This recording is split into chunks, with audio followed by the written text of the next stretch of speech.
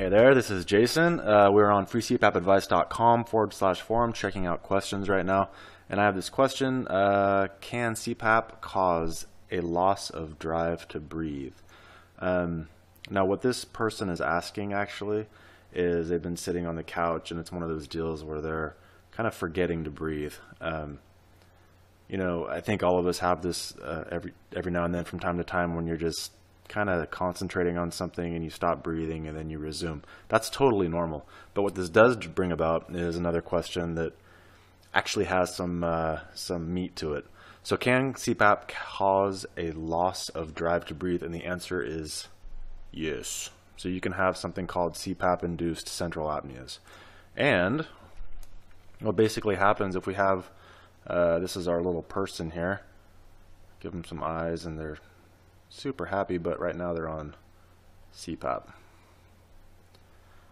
Um, so if they are set to a certain pressure, and let's just say 8 centimeters of water pressure is their optimal pressure, um, whether that's known or unknown, but let's just pretend that is their optimal pressure, and that's what will cause them to sleep the best. Um, if they have too much air going through here, that can actually throw off our respiratory drive. And what we have are these little thingies in here in this area called our carotid bodies. And in our carotid bodies,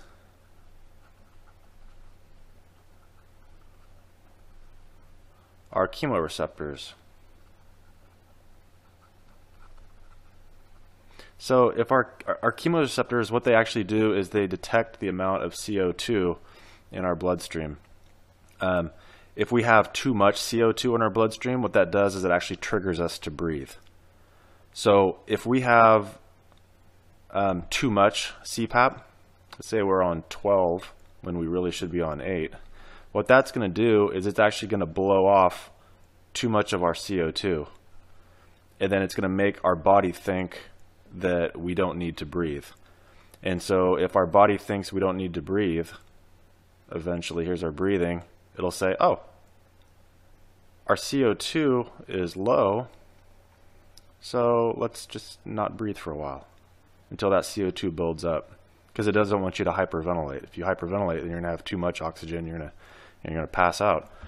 Um, so then the CO2 eventually will rise too much, and then you're going to start, you know, you're going to hyperventilate. And then it's going to go through this cycle over and over and over again until uh, eventually, you know, you wake up and go about your day.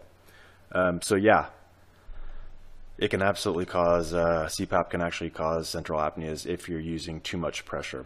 So that brings us to one more point, and that is sometimes it can be wrong. You know, where you're getting your information of whether you're having central apneas or not at night. So this is a screenshot of Sleepyhead, um, and what this is here this area here is a person's just sleeping normally, and then they wake up here, just a normal wake up. Uh, they're probably you know shifting body positions or something.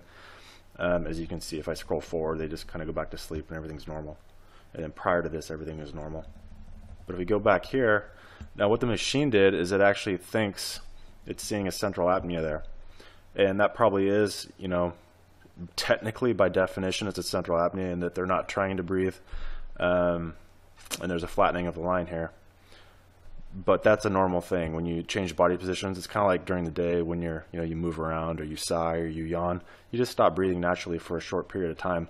That's totally normal, but the machine is going to pick up on that. And so you'll look down and you'll say, oh my God, I have these clear airway apneas or these central apneas. Oh my God. Well, you have to throw those out a lot of times. If you look at them and they have a, a different look to them, uh, where, you know, all of it's smooth like this, and then all of a sudden right here you see just a complete flattening, uh, then that would be a central apnea most likely. So you have to really uh, be good at reading the data and interpreting the data um, so you don't just call everything a central apnea. Um, but yes, if you're one of those people that like to change your pressure and tweak it, you don't want to increase it too high because you can, in fact, induce central apneas with CPAP. Um, that's why it's usually best to coordinate this with your physician. But as we know, sometimes your physicians aren't always available, or uh, you know, there's other circumstances. Uh, so anyway, if you have any questions like this, please contact us. Or you know, you can join the forum. It's free. freecpapadvice.com forward slash forum. Um, you just go. A lot of people don't know how to answer questions. So what you do is just go to the main page, you log in, hit new topic, and you can ask your own topic. Easy as that. All right, take care.